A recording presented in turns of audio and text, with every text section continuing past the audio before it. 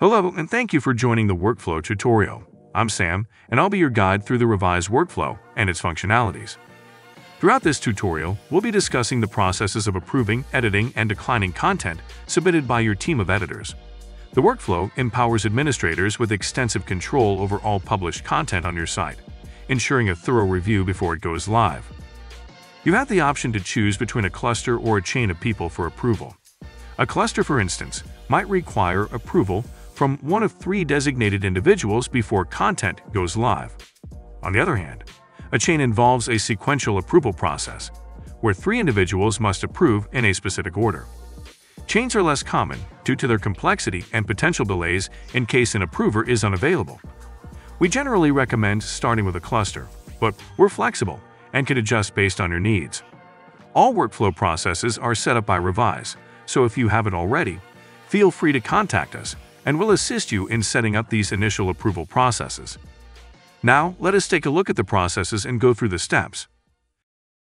Let's start off by looking at how to set the workflow process for a page. From any page in which you would like to set it up, click on Admin Panel, then click on Permissions.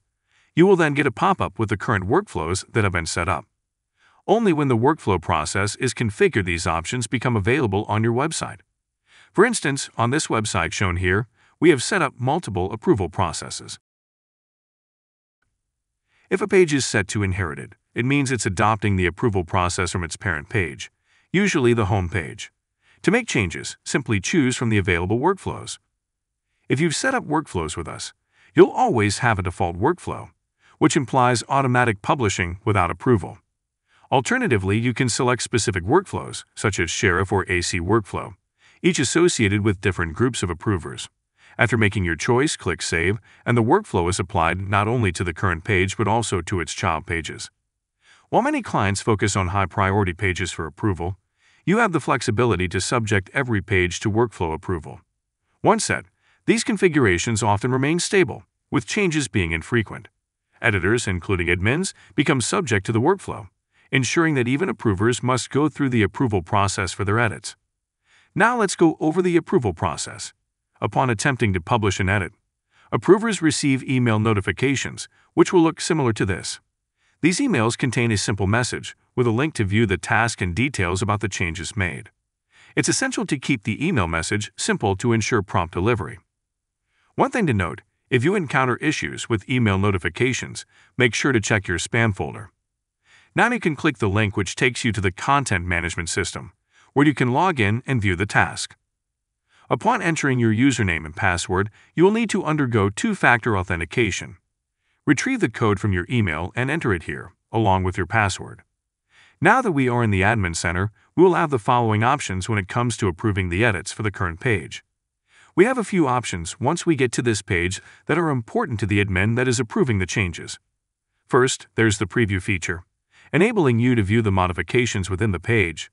By clicking on it, you'll be able to see the page and get a glimpse of how it will appear once you approve the edits. Next, we have the Compare option. This allows you to assess the alterations by comparing them with the original page before the current edit request. After examining the edits, your primary task is to either approve or reject them. Approving the changes will publish them to the live site. On the other hand, rejecting the request will dismiss it, and no changes will be published live. When rejecting, you also have the option to include a comment for the editor to view. The editor will get an email saying why the change was reject, and from there they go into the dashboard to edit or resubmit. In cases of chain approval, you may see notifications for changes rejected or changes approved based on the previous approver's decision. Admins can manage all workflows from the admin dashboard, offering a centralized view of pending events under tasks. While we strive for a seamless setup, variations in features may require some testing and adjustments. We appreciate your patience as we fine-tune the workflow to suit your specific needs. For additional assistance or questions, contact support at revize.com or submit a ticket at support.revize.com. We're also happy to provide individual demos or training sessions. Thank you for watching, and we're always here to assist.